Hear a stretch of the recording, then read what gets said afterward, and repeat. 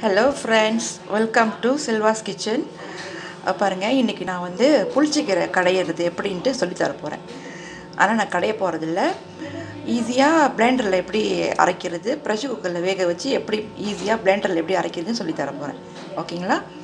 புளிச்சிக்கீரை அது கூட வேக வைக்கிறதுக்கு பூண்டு ஊசி மிளகா கத்திரிக்காய் தக்காளி பழம் வெங்காயம். இதுக்கு வந்து தாளிக்கிற ஜாமான். தாளிக்கிற பொருள் வந்து தாளிப்பு பட்டை மிளகா சைவமாக இருக்கிறவங்க நெத்திலி பொடி சேர்க்க வேண்டாம். நெத்திலி பொடி பூண்டு வெங்காயம் கருவேப்பிலை உப்பு. ஓகேங்களா?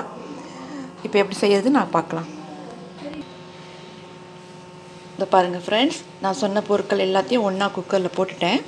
இப்போ வந்து தேவையான அளவு தண்ணி ஊற்றணும் ரொம்ப ஊற்றிடாதீங்க தேவையான அளவு கொஞ்சமாக கொஞ்சமாக ஒரு அக அகவாக ஊற்றிட்டு கொஞ்சமாக உப்பு போடுங்க. இப்போ வேக வைப்ப வேக வைக்கிறப்பையும் கொஞ்சோண்டு உப்பு போடுங்க. அப்புறம் தாளிக்கிறப்பையும் கொஞ்சம் உப்பு போடுங்க. சரிங்களா? முடிஞ்சு. இப்போது ப்ரெஷர் குக்கர் போட்டு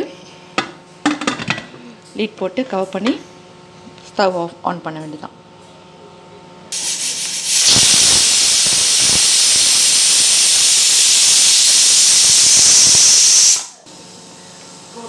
ஒரு விசில் வந்தால் போதுங்க. ஸ்டவ் ஆஃப் பண்ணிவிட்டு அந்த ப்ரெஷர் அடங்குற வரைக்கும் வெயிட் பண்ணுங்கள் உடனே திறந்துடாதீங்க மூஞ்சல் அடிச்சிடும் நான் எப்போதுமே சொல்கிறது இதுதான். உடனே திறந்துடாதீங்க மூஞ்சல் அடிச்சிடும் ஓகேங்க ப்ரெஷர்லாம் இறங்கிருச்சு. இப்போ லீட் ஓப்பன் பண்ணி பார்க்கலாம்.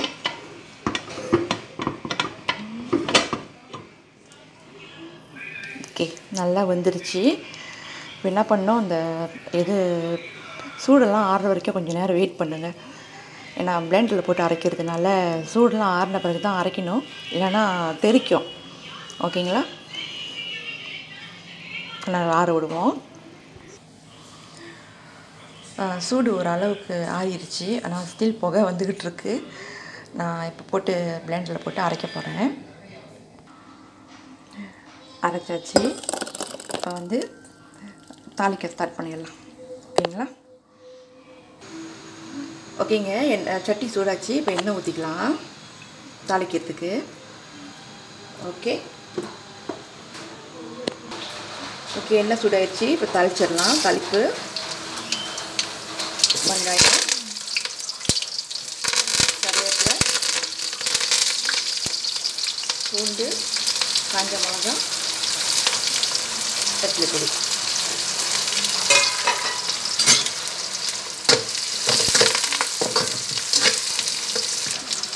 இங்கே வெங்காயம்லாம் வதங்கிடுச்சு இப்போ அரைச்சி வச்சுருந்த புளிச்சிக்கீரை வந்து ஒட்டி இது பண்ண போகிறேன்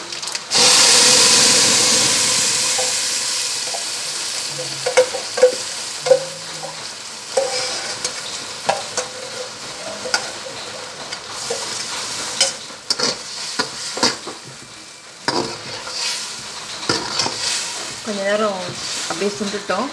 பச்சை வசனெல்லாம் போன பிறகு உப்பு பார்த்துக்குங்க. உப்பு பார்த்தோம்னா இன்னும் கொஞ்சம் கொஞ்சோண்டு உப்பு போட்டுக்கோங்க. எனக்கு சரியாக இருக்குது ஓகேங்களா?